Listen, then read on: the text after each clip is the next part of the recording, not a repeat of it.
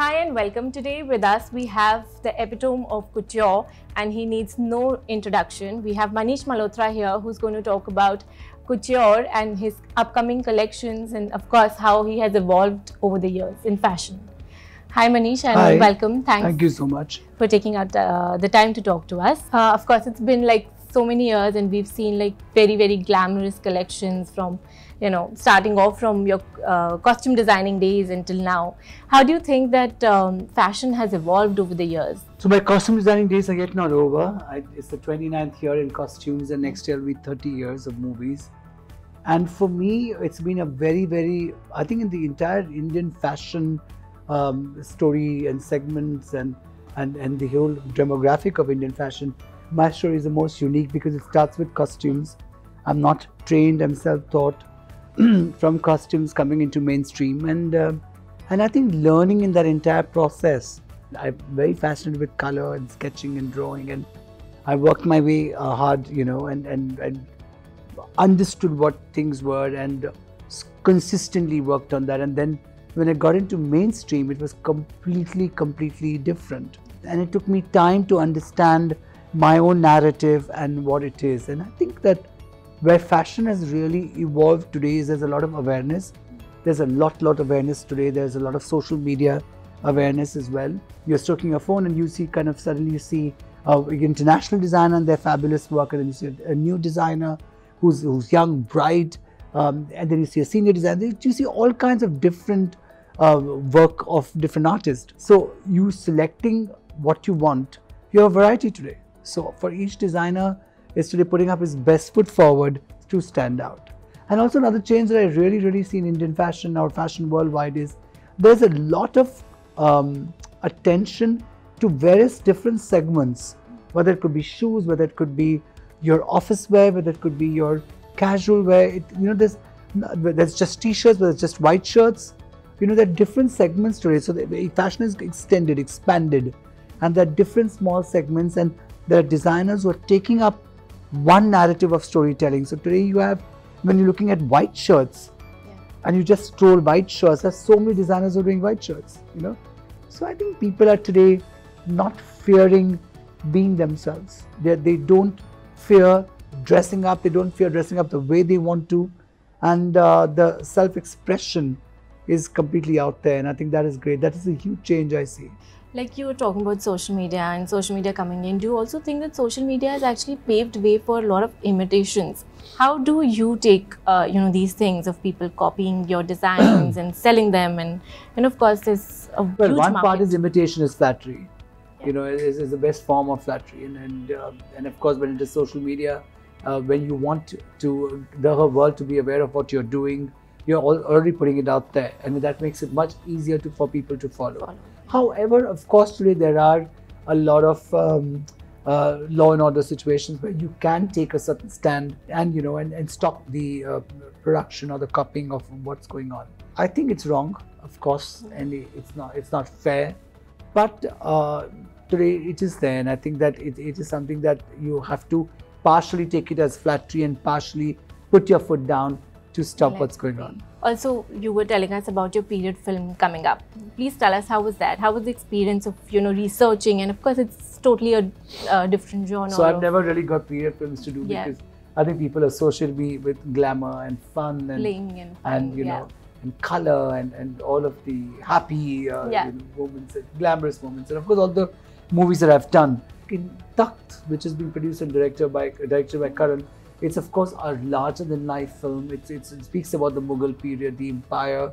Uh, you know, it speaks about uh, how grand it was, and it speaks about and of course the director. I mean, Karan as a director would want his own storytelling in that, and and for me as a costume designer, it is a huge challenge today. I mean, of course, I did the play Mughal Azam, Yeah, and I did about fabulous. 550 Must say that, costumes in that. And but this is of course that was a play. These are lots of big artists. Uh, it's it's it's the Mughal Empire and it's true gloss element.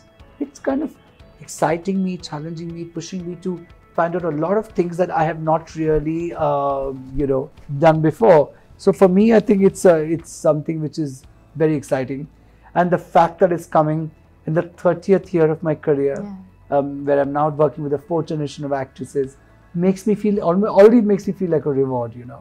Were there any new textiles or any new techniques that um, you know came out when you were researching? The ajrak prints, there Yeah. are different formation of fabrics. Um, then there's a lot of grandeur of trail and uh, you know whether it's a farshi, whether it's a choga, but there's so many things, so many different whether gararas and um, you know so and, and in the, the kind of embroidery which has to have a very old world. Um, what was quite amazing that I see is the preciseness, whether it's jewelry, whether it's embroidery, whether it's the colors. There's a certain kind of a very clean, neat, uh, very, very um, specific motive. The way the garments were, there was something, it's so stylish today when we see it, but there's yet something so unique and different in all of them. You know, I find the embroidery, everything very detailed. It, it's, it, it just speaks up such a uh, focused, clean mind. Um, but even if you see architecture, I mean, you know, you don't really study clothes for clothes necessarily. You look at the architecture, you look at the entire mood that existed. And for me, I'm reading a lot on it. What did the people think? How did they, why did they wear all of it? It's a complete uh, mood of that time, right? Which we kind of uh, Yeah. depict in the clothes and everything. How much time do you think that you'll take to meet these? Oh my God! I, I'm telling you, like I, I remember during Diwali we had Anil Kapoor's look test and we had Ranveer Singh's look test and we had Vicky Kaushal. I kept telling them, I said, these are Diwali days. There's so much work. It is one back to back. I never Karan likes everything perfect and he trusted uh, so much on me on that. There was like a whole sword on my, uh, you know, head. But um, yeah, as we go, there's such seven principal characters, and each one has their own story, and they each one has their own sense of style, because they were also very, very individual people. And um, and when you're very individual and you're strong-minded and you have a certain way you think, there's a certain way you dress. It could be simple, it could be chic, it could be over the top, whatever it is, it is your style. You're at the peak where everybody wants to reach. What is next for you? Well, next for me, I'm really looking forward to 2020 because 2020, February is when I complete uh, 20, 30 years in movies, and uh, in July, it's 15 years to my label. I've just started with jewelry and uh, home and um, all of it, and I want to launch a very, very affordable, uh, young label which is wearable and it's, of course, occasion wear, but all of that. So, there's always more to do, and, and I hope that I can do more and more and uh, there's never really end to any kind of work or any kind of creativity. I mean, movies is something that I really love as well, and uh, I will always like my association and my journey with films. I mean, I come from an outside world. Yeah. I come from a very simplistic upbringing. I come from. Um, I'm not from the movies. I, I, of course, I lived in Mumbai, but it's not that I had any film contact or any such Yeah. thing. I mean, later on, of course, the, the first assignment, of course, my sister, cousin sister, married David Dhawan, and and uh, that's Varun Dhawan's dad, Yeah. and that's how I got my first film because, not because I was her cousin, but because he, they saw some of my work I was just starting with. When I stepped into Indian fashion after nine years of costume designing and getting popular with my work, I felt like a complete isolated, alone, um, you know, because I think the fashion fraternity always looked at me as a costume designer and hey, what are you doing here? But I think that absolute focused determination, that absolute focus that no, I'm here to do good work. I'm here to uh, not only increase um, my brand, but also increase a lot of employment, increase a lot of things.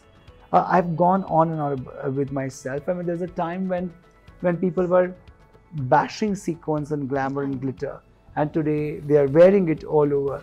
So people change, seasons change, but I think your own style is consistent.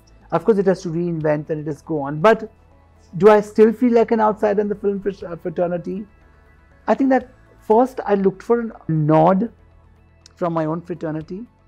But I think when you grow uh, and you evolve and you don't look for that nod anymore, then you are happy with the world and the people you know reacting to you, buying your clothes, wearing the clothes, looking good, feeling good. And uh, as you grow in that, that gives you that satisfaction. Then you don't want anybody else's nod. Thank you so much, Manish. Thank you so much.